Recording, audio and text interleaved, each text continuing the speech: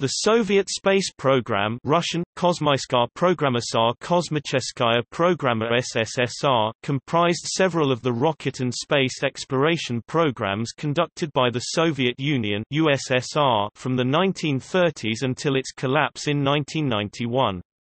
Over its 60-year history, this primarily classified military program was responsible for a number of pioneering accomplishments in spaceflight, including the first intercontinental ballistic missile R-7, first satellite Sputnik 1, first animal in Earth orbit, the dog Laika on Sputnik 2, first human in space and Earth orbit, cosmonaut Yuri Gagarin on Vostok 1, first woman in space and Earth orbit, cosmonaut Valentina Tereshkova on Vostok 6, first spacewalk cosmonaut Alexei Leonov on Voskhod 2, first moon impact Luna 2, first image of the far side of the moon Luna 3 and unmanned lunar soft landing Luna 9, first space rover Lunokhod 1, first sample of lunar soil automatically extracted and brought to Earth Luna 16, and first space station Salyut 1.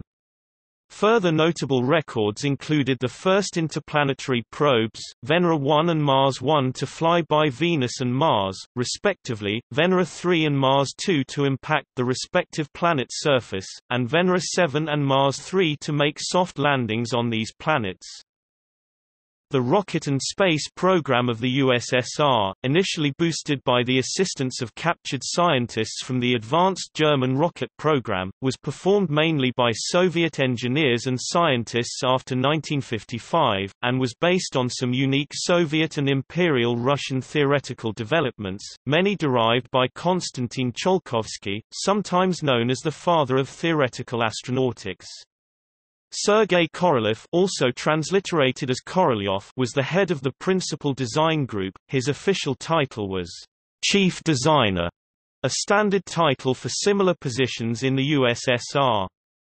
Unlike its American competitor in the space race, which had NASA as a single coordinating agency. The USSR's program was split among several competing design bureaus led by Korolev, Mikhail Yangel, Valentin Glushko, and Vladimir Chelomey. Because of the program's classified status, and for propaganda value, announcements of the outcomes of missions were delayed until success was certain, and failures were sometimes kept secret.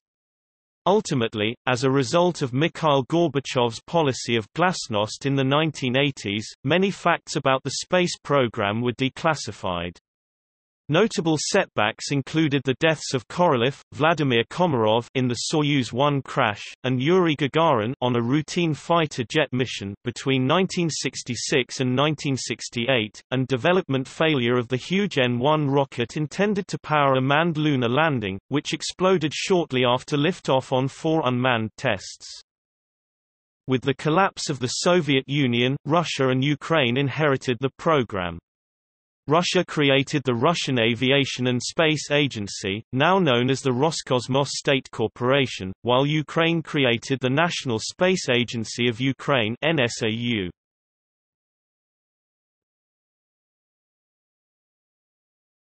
Topic: Origins.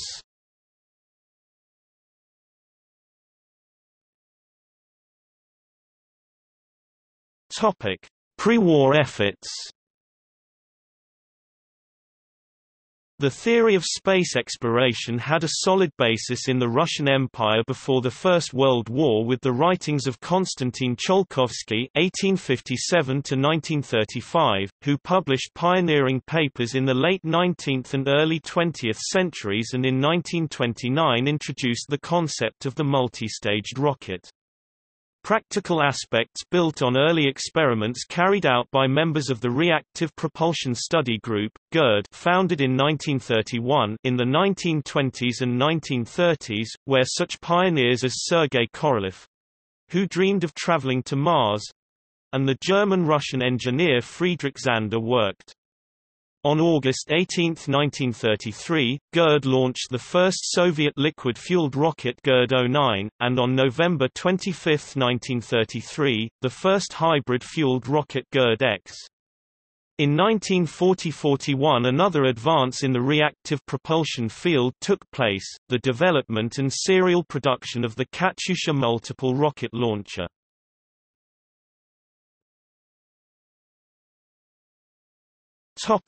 The Germans During the 1930s Soviet rocket technology was comparable to Germany's, but Joseph Stalin's Great Purge severely damaged its progress. Many leading engineers were killed, and Korolev and others were imprisoned in the Gulag.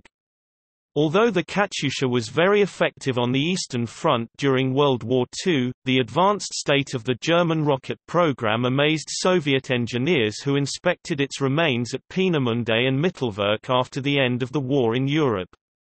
The Americans had secretly moved most leading German scientists and 100 V-2 rockets to the United States in Operation Paperclip, but the Soviet program greatly benefited from captured German records and scientists, in particular drawings obtained from the V-2 production sites. Under the direction of Dmitry Ustinov, Korolev and others inspected the drawings. Helped by rocket scientist Helmut Gröttrup and other captured Germans until the early 1950s, they built a replica of the V-2 called the R-1, although the weight of Soviet nuclear warheads required a more powerful booster. Korolev's OKB-1 design bureau was dedicated to the liquid-fueled cryogenic rockets he had been experimenting with in the late 1930s. Ultimately, this work resulted in the design of the R-7 Semyorka intercontinental ballistic missile (ICBM), which was successfully tested in August 1957.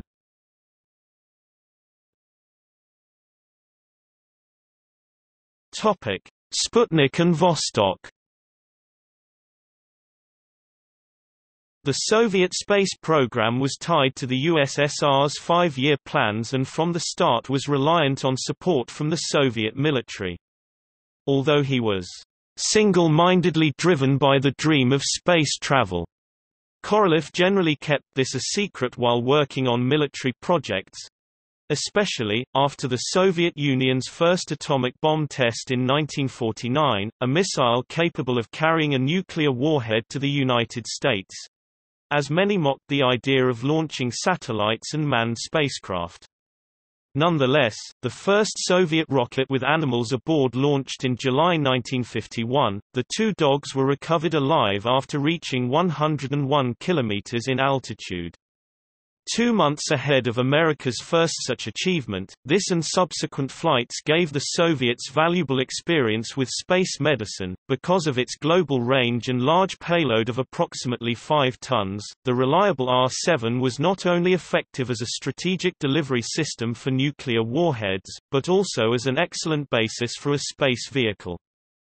The United States announcement in July 1955 of its plan to launch a satellite during the International Geophysical Year greatly benefited Korolev in persuading Soviet leader Nikita Khrushchev to support his plans in January 1956, in order to surpass the Americans.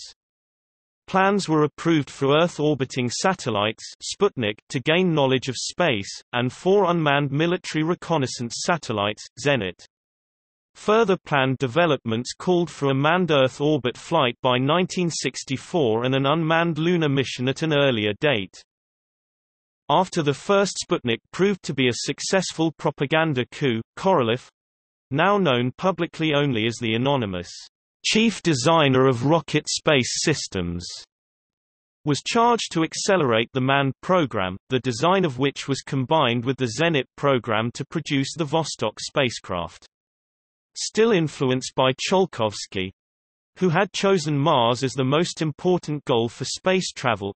In the early 1960s the Russian program under Korolev created substantial plans for manned trips to Mars as early as 1968 to 1970. With closed-loop life support systems and electrical rocket engines, and launched from large orbiting space stations, these plans were much more ambitious than America's goal of landing on the Moon.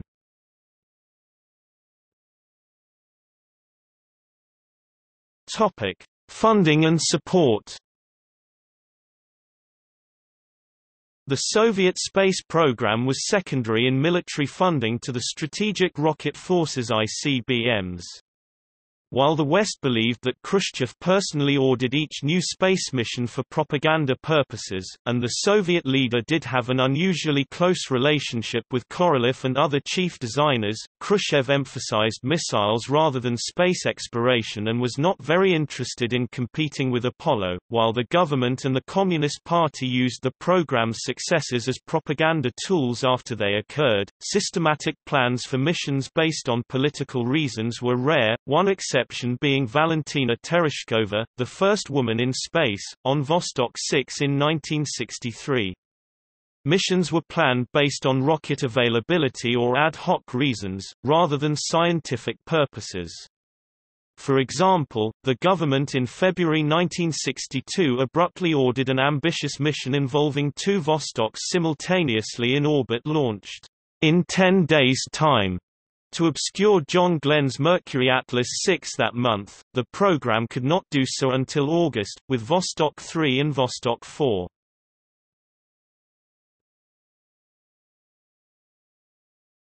Topic: Internal competition. Unlike the American space program which had NASA as a single coordinating structure directed by its administrator, James Webb through most of the 1960s, the USSR's program was split between several competing design groups. Despite the remarkable successes of the Sputniks between 1957 and 1961 and Vostoks between 1961 and 1964, after 1958 Korolev's OKB-1 Design Bureau faced increasing competition from his rival chief designers, Mikhail Yangel, Valentin Glushko, and Vladimir Chelomey. Korolev planned to move forward with the Soyuz craft and N-1 heavy booster that would be the basis of a permanent manned space station and manned exploration of the Moon. However, Ustinov directed him to focus on near-Earth missions using the very reliable Voskhod spacecraft, a modified Vostok, as well as on interplanetary unmanned missions to nearby planets Venus and Mars. Yangel had been Korolev's assistant but with the support of the military he was given his own design bureau in 1954 to work primarily on the military space program. This had the stronger rocket engine design team including the use of hypergolic fuels but following the Nedelin catastrophe in 1960 Yangel was directed to concentrate on ICBM development. He also continued to develop his own heavy booster designs similar to Korolev's N-1 both for military applications and for cargo flights into space to build future space stations. Glushko was the chief rocket engine designer but he had a personal friction with Korolev and refused to develop the large single-chamber cryogenic engines that Korolev needed to build heavy boosters. Chelomey benefited from the patronage of Khrushchev and in 1960 was given the plum job of developing a rocket to send a manned craft around the Moon and a manned military space station. With limited space experience, his development was slow. The Apollo program's progress alarmed the chief designers, who each advocated for his own program as response. Multiple, overlapping designs received approval, and new proposals threatened already approved projects. Due to Korolev's singular persistence, in August 1964, more than three years after the United States declared its intentions, the Soviet Union finally decided to compete for the Moon. It set the goal of a lunar landing in 1967, the 50th anniversary of the October Revolution or 1968. At one stage in the early 1960s the Soviet space program was actively developing 30 projects for launches and spacecraft. With the fall of Khrushchev in 1964, Korolev was given complete control of the manned space program.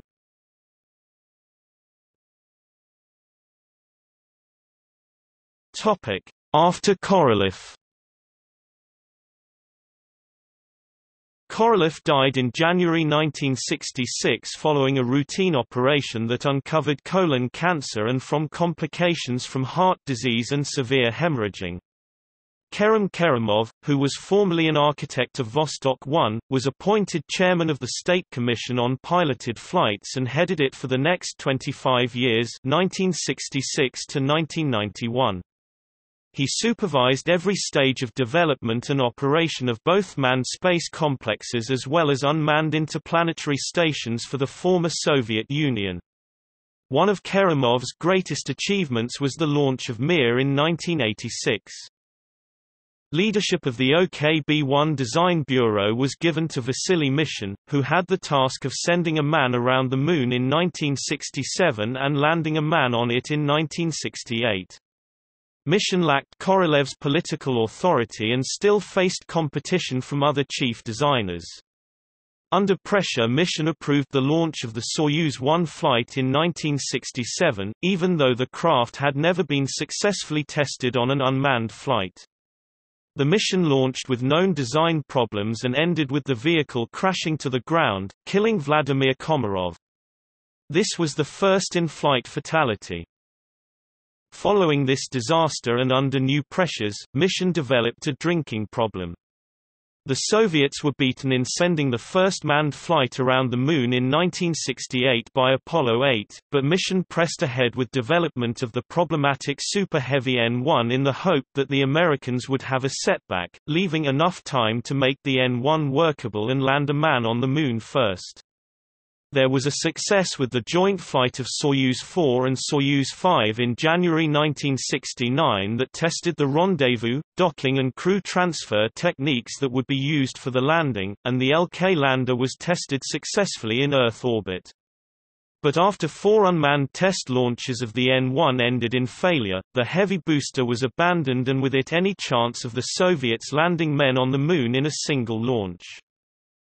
Besides the manned landings, the abandoned Soviet moon program included the multi-purpose moonbase Zvezda, first detailed with developed mock-ups of expedition vehicles and surface modules.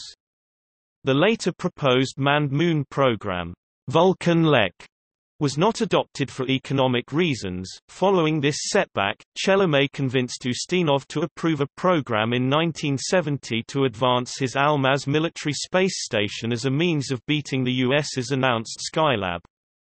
Mishin remained in control of the project that became Salyut but the decision backed by Mishin to fly a three-man crew without pressure suits rather than a two-man crew with suits to Salyut 1 in 1971 proved fatal when the re-entry capsule depressurized killing the crew on their return to Earth.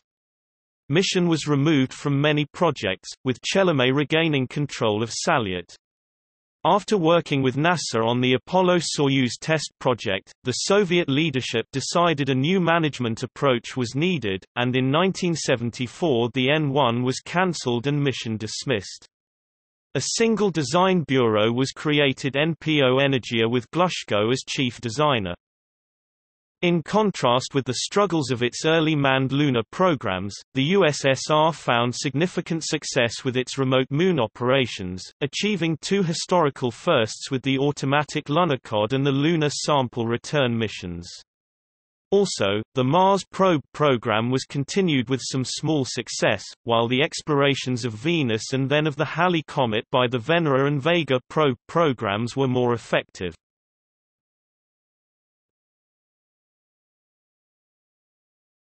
Topic: Program secrecy. The Soviet space program had withheld information on its projects predating the success of Sputnik, the world's first artificial satellite. In fact, when the Sputnik project was first approved, one of the most immediate courses of action the Politburo took was to consider what to announce to the world regarding their event. The Telegraph Agency of the Soviet Union TASS established precedents for all official announcements on the Soviet space program. The information eventually released did not offer details on who built and launched the satellite or why it was launched. However, the public release is illuminating in what it does reveal. There is an abundance of arcane scientific and technical data,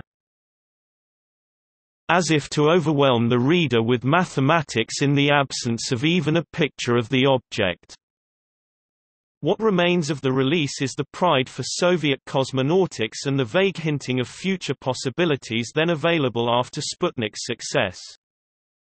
The Soviet space program's use of secrecy served as both a tool to prevent the leaking of classified information between countries and also to create a mysterious barrier between the space program and the Soviet populace. The program's nature embodied ambiguous messages concerning its goals, successes, and values. The program itself was so secret that a regular Soviet citizen could never achieve a concrete image of it, but rather a superficial picture of its history, present activities, or future endeavors. Launchings were not announced until they took place. Cosmonaut names were not released until they flew. Mission details were sparse. We did not know the size or shape of their rockets or cabins or most of the spaceships, except for the first Sputniks, lunar probes and Venus probe. However, because of its nature, the Soviet space program suffered a paradox. On one hand, officials attempted to promote the space program by frequently connecting its successes to the strength of socialism. On the other hand, the same officials understood the importance of secrecy in the context of the Cold War. This stress on secrecy in the USSR can be understood as a measure to protect its strengths and weaknesses. Such reasoning for secrecy was motivated by the desire to protect information necessary for national security.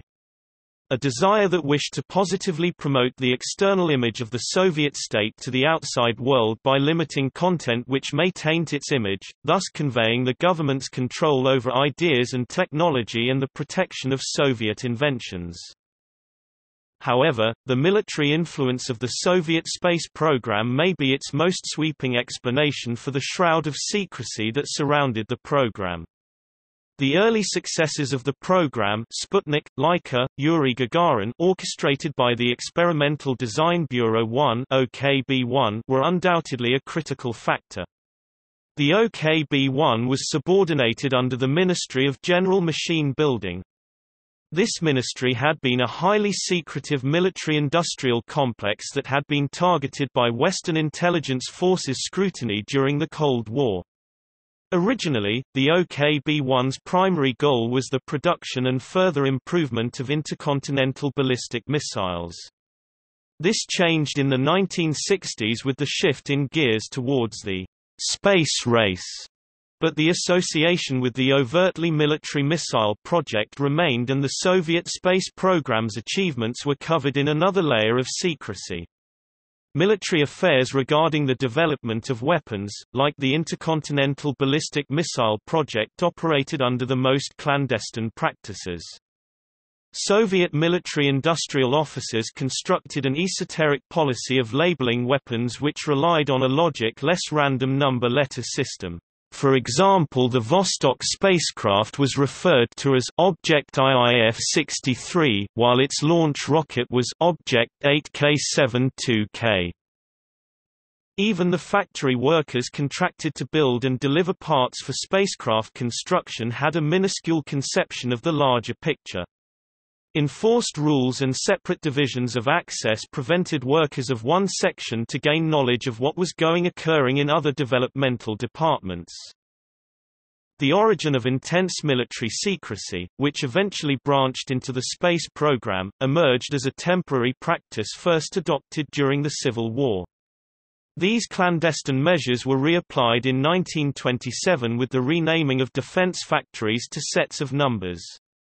This practice would be adopted into research and design projects within the factories, and the tradition would continue in order to obfuscate Soviet goals from their adversaries. However, still paranoid that Western intelligence forces would be able to understand the private code, employees were not allowed to discuss the code in public but rather needed to refer to the factories, institutes, and departments in public by using another code, a special post office box numbers, for their identification. In retrospect, one can now observe the pattern which emerged as Soviet space exploits became more frequent. The program eliminated contingency in its announcements to the public. As far as the people knew, the Soviet space program had never experienced failure.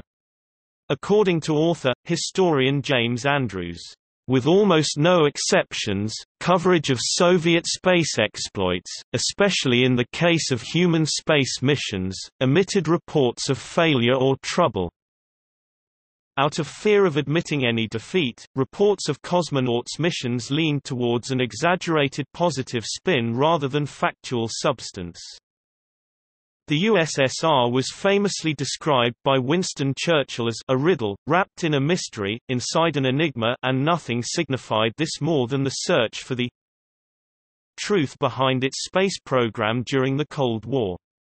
Although the space race was literally played out above our heads, it was often obscured by a figurative space curtain that took much effort to see through says Dominic Phelan in the book Cold War Space Sleuths Springer Praxis 2013.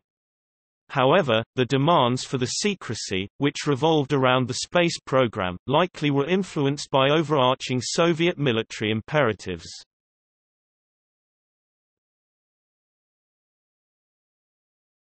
Topic: List of projects and accomplishments.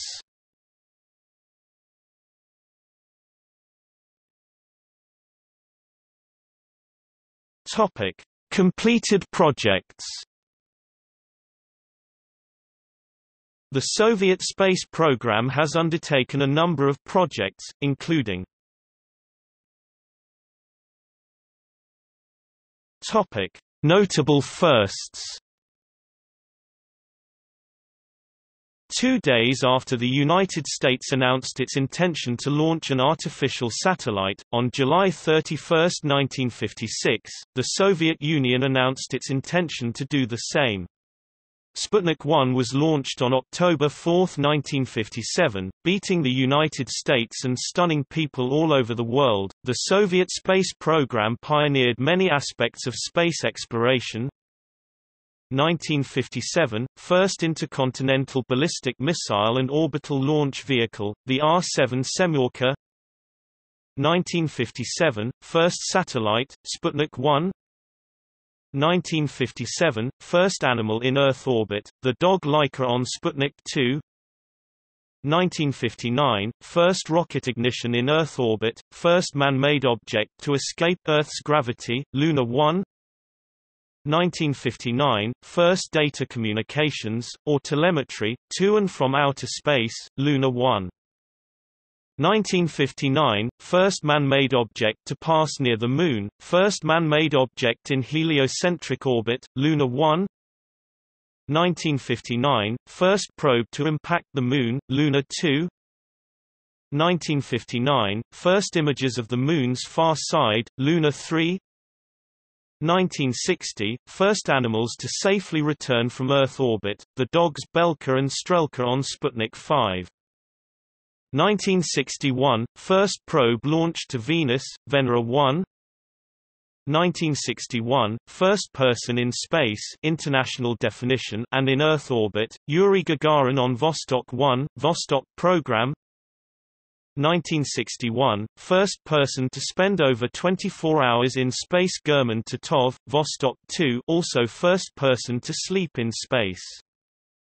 1962, first dual-manned spaceflight, Vostok 3 and Vostok 4 1962, first probe launched to Mars, Mars 1 1963, first woman in space, Valentina Tereshkova, Vostok 6 1964, first multi-person crew 3, Voskhod 1 1965, first extravehicular activity EVA, by Alexei Leonov, Voskhod 2 1965, first probe to hit another planet of the Solar System Venus, Venera 3 1966, first probe to make a soft landing on and transmit from the surface of the Moon, Luna 9 1966, first probe in lunar orbit, Luna 10 1967, first unmanned rendezvous and docking, Cosmos 186,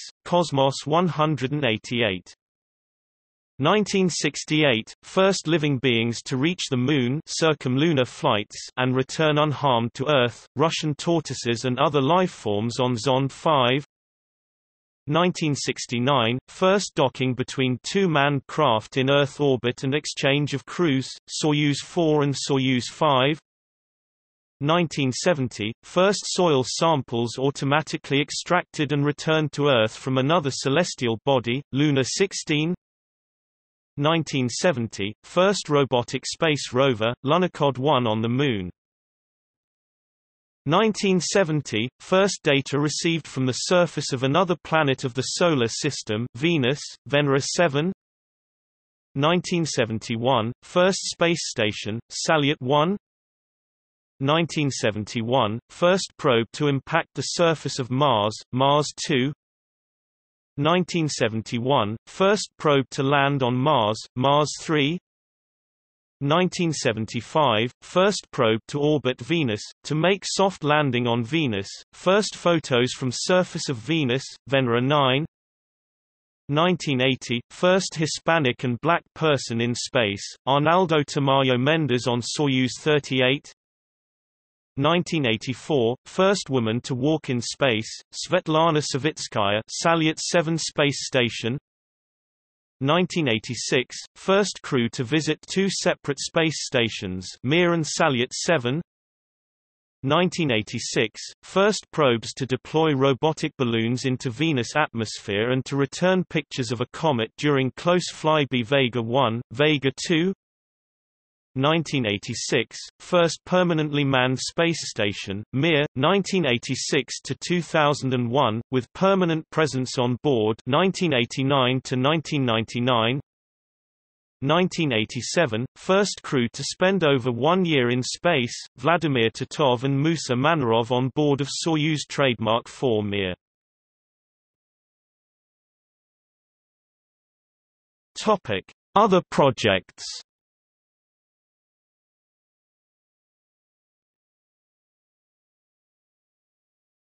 Topic: Buran The Soviet space program Buran produced the Space Shuttle Buran based on the third in history Super Heavy Energia launcher. Energia would be used as the base for a manned Mars mission. Buran was intended to operate in support of large space-based military platforms as a response first to the U.S. Space Shuttle and then the Strategic Defense Initiative. By the time the system was operational, in 1988, strategic arms reduction treaties made Buran redundant. On November 15, 1988, the Buran orbiter and its Energia rocket were launched from Baikonur Cosmodrome in Kazakhstan, and after three hours and two orbits, glided to a landing a few miles from its launch pad. Several vehicles were built, but only the one flew an unmanned test flight into space. It was found too expensive to operate as a civilian launcher.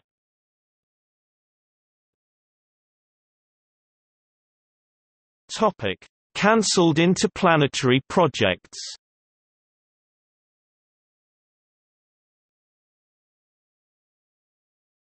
Topic: Mars 4 NM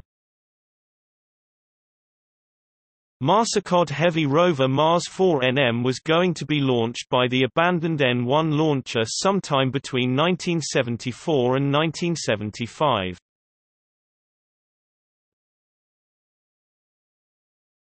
Topic: Mars 5 NM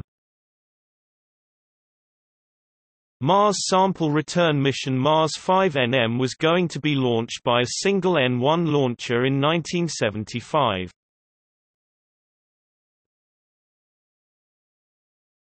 Topic: Mars 5M Mars Sample Return Mission Mars 5M was to be double-launched in parts by Proton launchers, and then joined together in orbit for flight to Mars in 1979.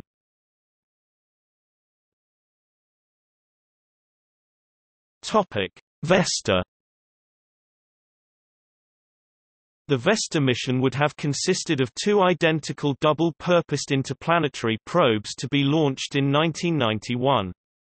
It was intended to fly by Mars instead of an early plan to Venus and then study four asteroids belonging to different classes. At 4 Vesta a penetrator would be released. Topic: The Tsiolkovsky mission was planned as a double-purpose deep interplanetary probe to be launched in the 1990s to make a slingshot flyby of Jupiter and then pass within 5 or 7 radii of the Sun. A derivative of this spacecraft would possibly be launched towards Saturn and beyond.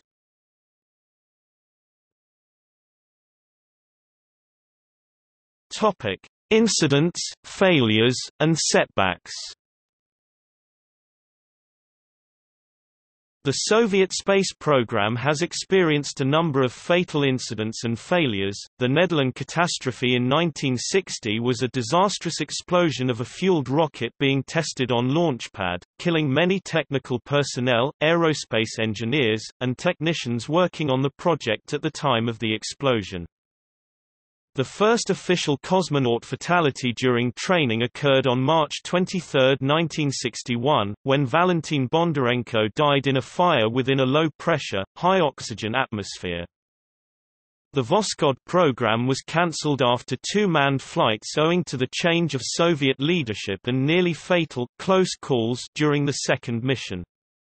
Had the planned further flights gone ahead they could have given the Soviet space program further firsts including a long-duration flight of 20 days, a spacewalk by a woman and an untethered spacewalk. The Soviets continued striving for the first lunar mission with the huge N-1 rocket, which exploded on each of four unmanned tests shortly after launch. The Americans won the race to land men on the Moon with Apollo 11 on July 20, 1969. In 1971, the Soyuz 11 mission resulted in the deaths of three cosmonauts when the crew capsule depressurized during preparations for re-entry. This accident resulted in the only human deaths to occur in space as opposed to high atmosphere. The crew members aboard Soyuz 11 were Vladislav Volkov, Georgy Dobrovolsky, and Viktor Patsayev. On April 5, 1975, Soyuz 7 KT No. 39, the second stage of a Soyuz rocket carrying two cosmonauts to the Salyut 4 space station malfunctioned, resulting in the first manned launch abort. The cosmonauts were carried several thousand miles downrange and became worried that they would land in China, which the Soviet Union was then having difficult relations with. The capsule hit a mountain, sliding down a slope and almost slid off a cliff, however, the parachute lines snagged on trees and kept this from happening. As it was, the two suffered severe injuries and the commander, Lazarev, never flew again. On March 18, 1980, a Vostok rocket exploded on its launch pad during a fueling operation, killing 48 people. In August 1981, Cosmos 434, which had been launched in 1971, was about to re-enter.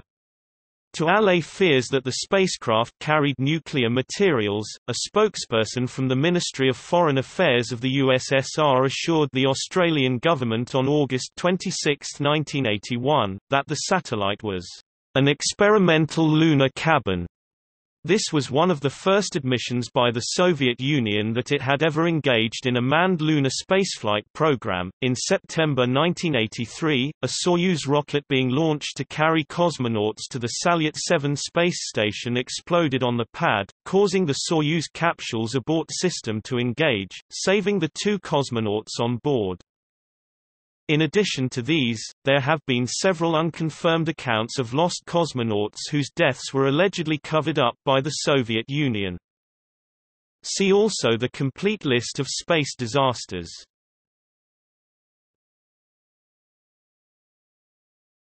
Topic. See also List of government space agencies Boris Chertok, Chief Designer of Guidance and Control Systems. The list of Russian aerospace engineers. Pilot Cosmonaut of the USSR, an honorary title. The list of cosmonauts. The list of Russian explorers. The Soviet manned lunar programs Interkosmos, a Soviet space program designed to give nations on friendly relations with the Soviet Union access to manned and unmanned space missions the Sheldon names, which were used to identify launch vehicles of the Soviet Union when the Soviet names were unknown in the USA. DRAKON, an algorithmic visual programming language developed for the Buran space project. Tank on the Moon, a 2007 French documentary film on the Lunokhod program.